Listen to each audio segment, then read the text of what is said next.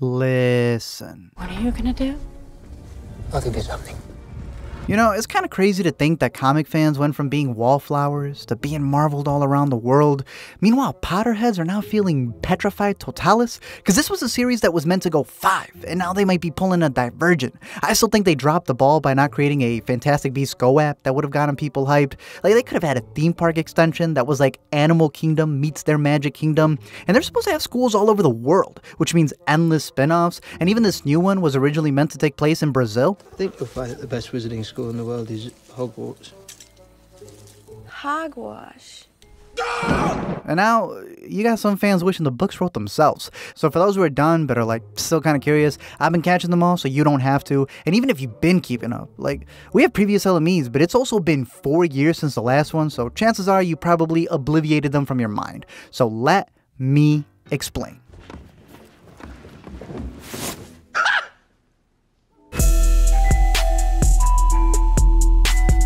Now, previously on The Fantastic Beasts, we met Newt, who's trying to write his field guide by entering America with all the beasts that he smuggled, and that's where he meets Jacob in the first act, a baker trying to get a loan, who then becomes a muggle, joining them in the struggle. Tina's a wizard cop trying to get reinstated, while her sister Queenie's just trying to get dated, and then there's Percival, who puts them all in grave danger. He's meeting with an orphan named Credence, whose guardians don't believe in reading Harry Potter books, and he's trying to find this dark force known as an Obscurus without anyone realizing that he actually wants to weaponize it. Meanwhile, Newt just spends the second act ugly dancing to get the beast back into his zoo inside a suitcase. Lucky for him, he has good warriors. Of course I fought in a war. Everyone fought in a war. You didn't fight in a war? I work mostly with dragons. Ukrainian iron bellies. Because of all the fantastic chaos that the beasts unleash, they end up bringing Newt into the magic court as they blame one of his beasts for murder. It's a brief case though. They escape, and then they go meet these magical mobsters and speakeasies. They raid a Macy's, destroy Central Park, all while Newt argues with his piece of lettuce. This is all just some big nightmare, right? For both of us, Mr. Kowalski. In the third act, Graves speaks about the Deathly Hallows, which never get mentioned again for like the next three movies, but he uses it to make a pact and realizes we need to talk about Credence, who turns out to be the Obscurial. He unleashes havoc across New York City as a major fight breaks out until the Wand Association comes in and takes Credence down, only to reveal that Graves is actually Johnny Depp playing a dude named Grindelwald. So in retrospect, we've had Colin Farrell as Grindelwald in the first, Johnny as Grindel in the second, and then by the third, they go mods. So I honestly wasn't expecting to see so many people transitioning on JK's turf. Magically, every human forgets the events of the movie, nobody dies, and they all live to see a sequel. Well, my philosophy is that worrying means you suffer twice.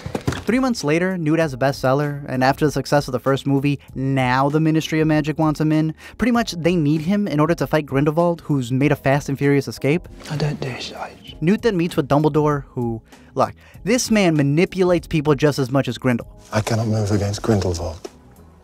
It has to be you. I guess, you know, that's why they were love. Sorry, uh, I think they said. Mutual respect of one another's abilities. Love is in the air for everyone, though, even the assistants. Perhaps you should take off your shirt. Bunty was ready to lay it down. Jacob and Queenie reunite because The potion only erases bad memories.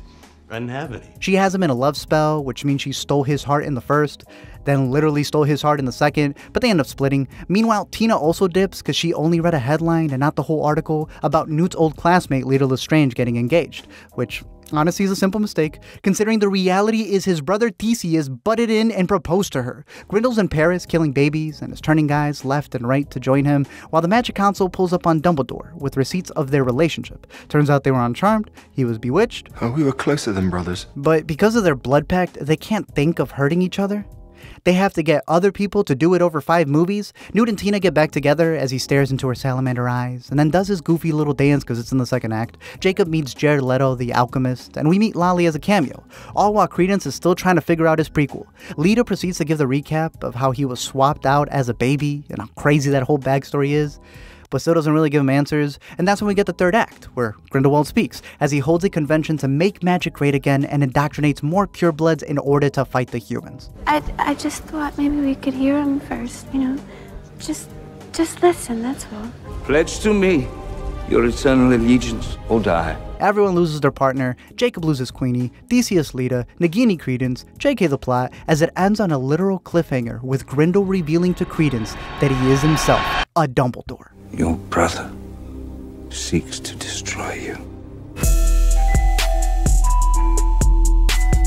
Now, I want to give a quick shout out to the video sponsor for this one because there's no better way to get through these movies than without having your spirits high. So, big shout out to our video sponsor, Bright Cellars, for giving you your own personalized box of wine so that you can sip while you watch this movie or you know, enjoy it now that you're done with your taxes right? Now, I've always been a beer guy, so I really appreciate this little personalized quiz that they have for you as soon as you get on the site. It helps pair you with wines that actually fit your taste preferences. They even have these cool little cards that give you an LME on each wine, so you know you know how to serve it, where it comes from, what to pair it with. And I decided to try a nice little variety. You know, I wanted to push my palate, so I got a couple of wines that I ended up really enjoying and got me through these rewatches.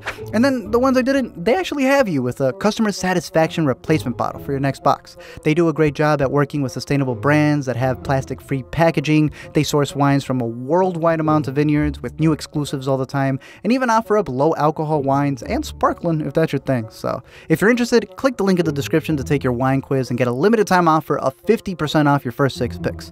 With the new Game of Thrones right around the corner, there's no better way to find a new red and help support the channel at the same time. But now, back to the show.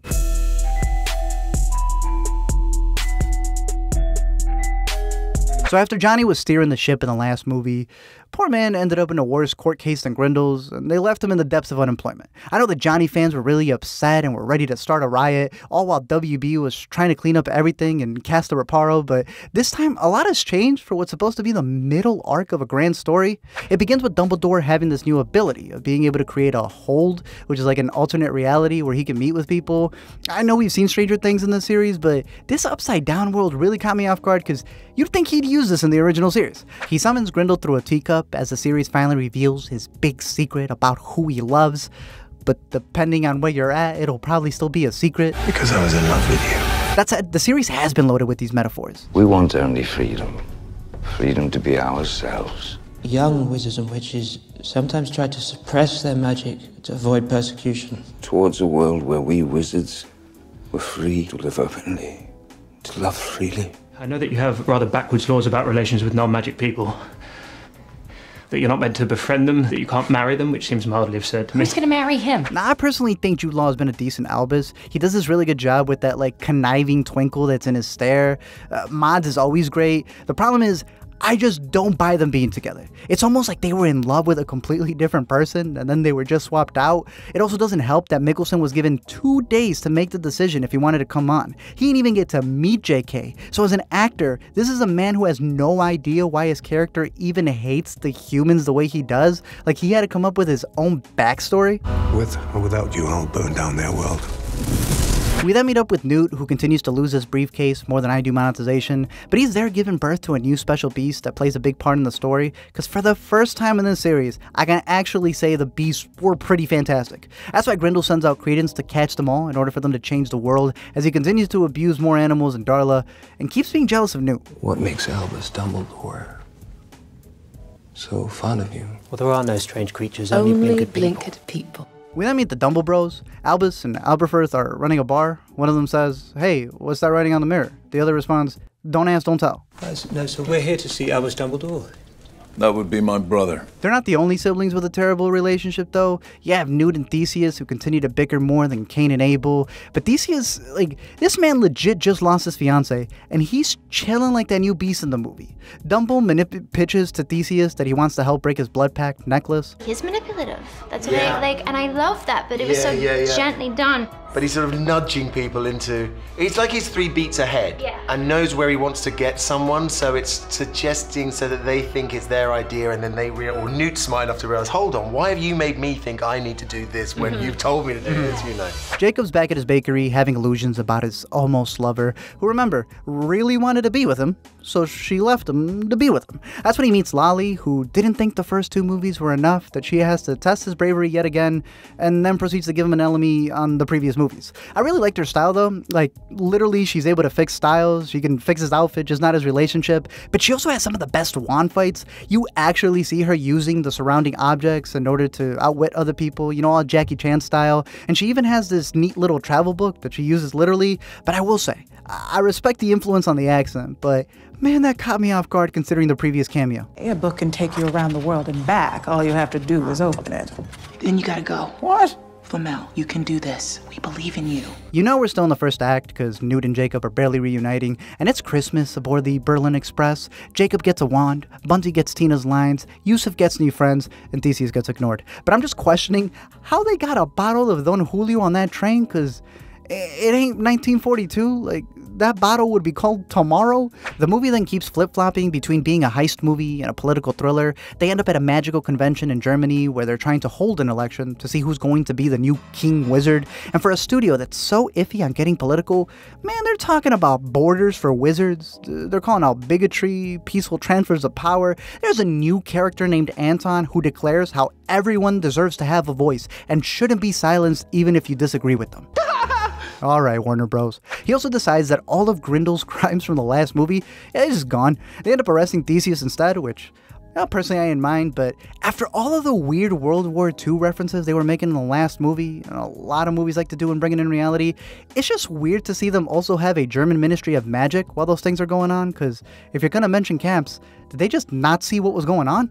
Anton then convinces the council to let Grindel run because they don't want to deny the public's voice, and Grindel's really got fans out there. People are crowd surfing him. It was hilarious to see the wizards at a convention shooting their wands in the sky like cowboys shooting blanks. As far as the Grindelgoons, they're sporting new looks and dripped in dark colors to show their inner souls. Gwynnie is actually blonde, Ezra's hair is longer than their public tantrums, and the guy who played Abernathy was so dark. Uh, the dude's in jail. Then appears to them saying he was sent there to spy, but wants to be a double spy, and Grindel just removes the memory of his sister. Now, I don't know how that doesn't like change his inspiration, you know, like the reasoning for why he's doing what he's doing. But we're also talking about a character who they wrote in a way where he's in the sunken place for most of the movie, and then in the end just magically gets out. Kind of like how Queenie can read minds, but in this movie they had her reading the script with the amount of exposition they gave her. Hello, Credence. Dumbledore then meets with Credence and dupes him into his upside down world and just beats him easily, like no harm is done to the city. I'm just wondering, Albus, where were you in the first movie? After his uncle has him on his back, he realizes that they never knew anything about him and then just gets left behind again in a flash. Like they couldn't even lolly him up. Like he's just disheveled on the street, and they do that for a lot of characters. Tina's not in this one because she's working. Like forget the fact that the person she likes is involved, that her sister is fighting with the enemy. Like I, I, I think fighting in a war would be bigger than her off getting a promotion. Nagini was also cut because the actress was supposedly pregnant even though the other actors in the movie were also pregnant. So I don't know if she was just uh, slithering too much on her socials, or maybe they finally realized Nagini was Indonesian. But they always find a way, though, to force Minerva into the movie. So unless she's a time traveler, none of. Newt visits his brother in jail and does his little crab dance, so you know we're in the second act, and he's able to break him out. Meanwhile, Lolly and Jacob go to a dinner to protect Santos and prove that the guy who wants to kill muggles is wrong by then setting up Jacob the Muggle to look like an assassin. The fact that everything didn't go precisely to plan was precisely the plan. I did like how his wand was practically like one of those fake steering wheel things, though. They all escape and make it back to Hogwarts. Dumble gives his backstory about his sister Ariana and how she was poisoned by an Obscurus because of all the family problems they had, and that's what led to more tensions between the Dumble Bros and their feuding, drawing their wands eventually, and accidentally killing Ariana and he recaps all this while she's chilling as a gift portrait in the back. An obscurus grows in the absence of love, as a dark twin. We also quickly learned that uh, Credence is their nephew and they just didn't know. Anyways, this fantastic creature known as a Qilin ends up becoming the main character since it can look into your soul and it will bow down to the most purest person, which is what they're going to be using to determine the election. I wouldn't be surprised though if Dumbledore wasn't the one who gave Grindel that idea back when they were together, when they were really young. Because, like, why be the president yourself when you can be controlling all the young minds at a school that raises all these kids with talent?